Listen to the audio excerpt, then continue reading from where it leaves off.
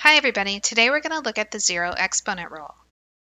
The quotient rule for exponents taught us that x to the n over x to the m is equal to x to the n minus m. Given the same base, we know to subtract exponents. What we want to talk about today is what do we do in the case where the exponents are equal? For example, what if I had x to the 6 over x to the 6?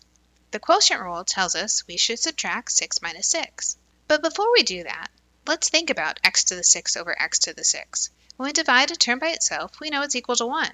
We also know that when we subtract 6 and 6, we get x to the 0. This shows us that x to the 0 is equivalent to 1. There is one exception to this rule. If x was equal to 0, we don't say 0 to the 0 is equal to 1, we say 0 to the 0 is undefined. But let's get back to our rule. Let's simplify 12x squared over 2x squared. To start, we'll divide 12 by 2, which gives us 6. Then we'll apply the quotient rule. That gives us x to the 2 minus 2. Now that we have 6 times x to the 0, we can evaluate x to the 0 to be equal to 1, so our final solution is 6.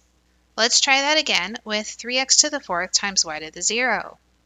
Hopefully we notice that y to the 0 is equal to 1. If I multiply 1 times 3x to the 4th, I just get 3x to the 4th. Finally, I want to remind you to be really careful with negatives. There's a big difference between expressions that have a parentheses around the number and expressions that do not have a parenthesis around the given number. When I look at negative 9 to the 0, the first thing I want to do is apply the exponent.